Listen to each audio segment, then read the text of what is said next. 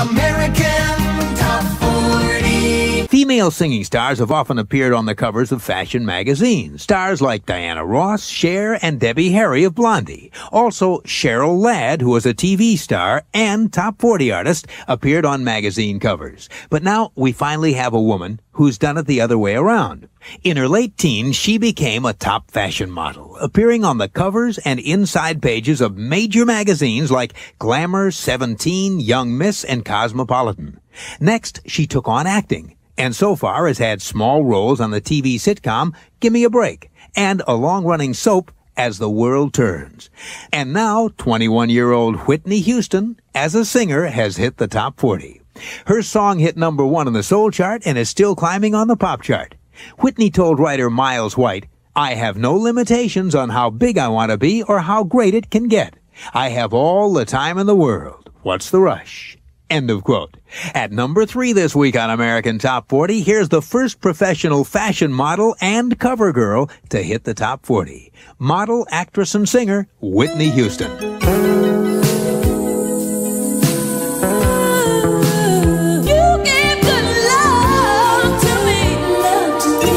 Whitney Houston on American Top 40. She's 21 years old, was born and raised in East Orange, New Jersey.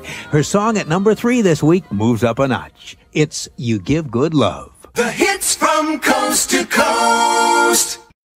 Now we're up to the new number one song in the land, and as far as we know, a chart first. The first time ever any artist has been replaced at number one by a cousin.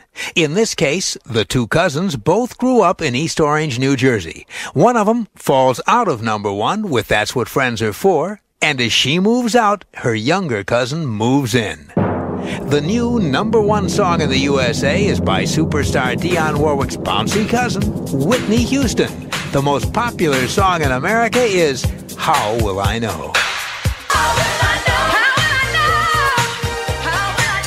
How will I know? That's the new number one song in the USA this week, and it's by Whitney Houston. We're hearing the biggest hits in the USA by some of the biggest stars in the world. And here's a star whose career has been careening along like a comet. She's the first singer ever to get seven number ones in a row. Did that when this song hit the top four weeks ago. It stayed at number one for a couple of weeks. Where do broken hearts go? Whitney Houston. I know it's been some time. Where do broken hearts go? Another big ballad for Whitney Houston. Last week it fell from the number one spot down to number four. Now it's at number 11. This is an American Top 40 special. I'm Casey Kasem. As we reach the top five among the hottest newcomers, we're up to a woman now who burst on the pop scene with musical fireworks. In three years, she's lit up the charts with an explosion of songs that include six number ones in a row. Three apiece from two albums. The only female solo star ever to do that. No big secret behind her success. She grew up with music. Her cousin is superstar Dionne Warwick. Her mother, gospel great Cissy Houston. And her name, of course, it's Whitney. I worked. I really worked. I worked, and my mom schooled me and trained me and took me through the mill and everything that I had to go through. I don't know if uh, what was supposed to happen was supposed to happen. You know, the way it went, you know, it was supposed to be that way, but. I don't know. I don't. I don't think that it really is a big break. I think whatever. When I decided that this is what I wanted to do, I went for it. And she got it. She's our fifth top newcomer, Whitney Houston, and one of her six number ones. How will I know? Another top new face of the 80s, the pretty face of Whitney Houston. And her versatile voice puts her at number five among the decade's top newcomers. Up next, the most popular new British group of the 1980s. Casey's coast to coast. You're listening to AT40's special countdown of the 40 top newcomers of the 80s.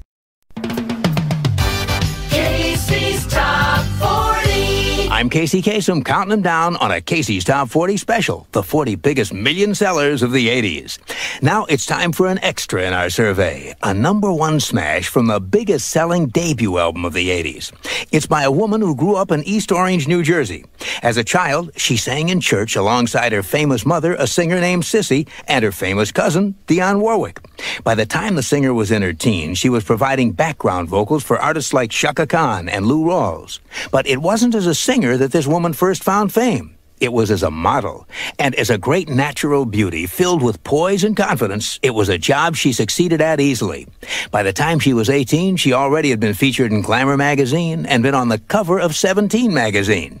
But fate had more in store for this woman than just being another pretty face. In 1983, record company president Clive Davis heard her singing with her mother in a club. He was so impressed that he signed this woman. And two years later, she put out her first album. An album that went on to sell, are you ready for this? Over 9 million copies and became the biggest selling debut album of the 80s. Now, an extra in our special Casey's Top 40 survey. A number one smash from that record setting debut album simply titled Whitney Houston. Whitney herself with How Will I Know? How Will I Know? A number one smash from the biggest selling debut album of the 80s. It's an extra on this special edition of Casey's Top 40 as our countdown to the 40 biggest million selling singles of the 80s rolls on. Casey's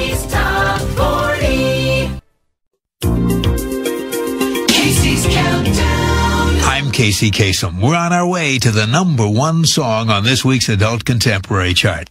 Well, now we're up to Whitney Houston. She says her earliest musical role model was the Queen of Soul.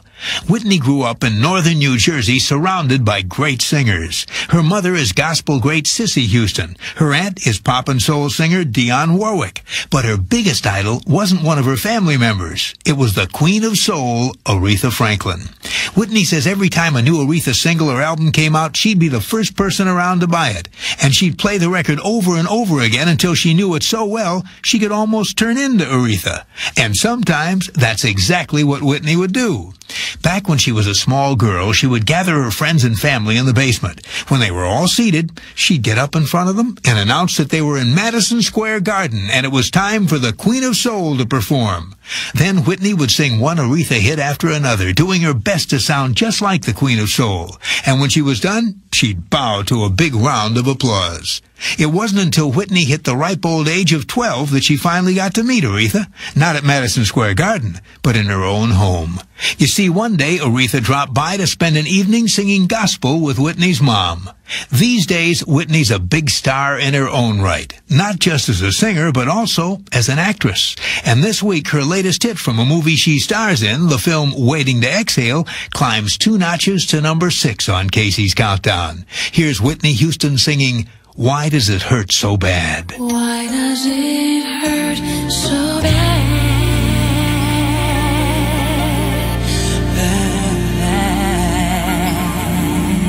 Moving up from number 8 to number 6, that's Why Does It Hurt So Bad? The 20th top 10 on the adult contemporary chart for Whitney Houston.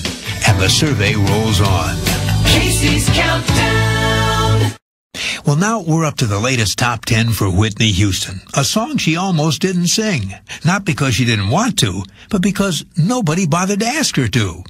When Babyface sat down to write the music for the movie Waiting to Exhale, he naturally assumed that one of the movie's stars, Whitney Houston, would sing some of the songs. After all, the song she sang on the soundtrack to The Bodyguard helped make it one of the best-selling albums of all time.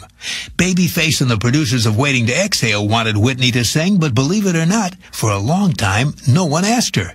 Babyface says, quote, Everyone was scared to ask her. Nobody wanted to say, hey, will you go sing? They were afraid it would seem to be for selfish reasons, unquote.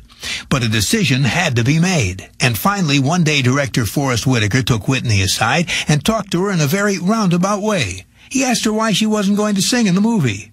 Whitney said, because nobody had asked her. And Forest Whitaker said, well, I'm asking you to.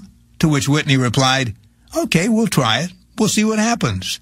So at the very last minute, Babyface went into the studio with Whitney and recorded three songs. This past December, one of those tracks, the song Exhale, went to number one. And starting in March, another, Whitney's duet with CeCe Winans on Count on Me, spent 14 weeks in the top 10.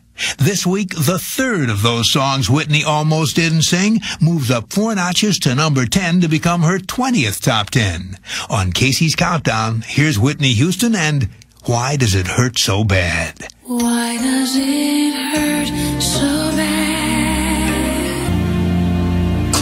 four notches to number 10. That's our biggest mover. Why Does It Hurt So Bad by Whitney Houston. It's from the film Waiting to Exhale. Casey's Coast to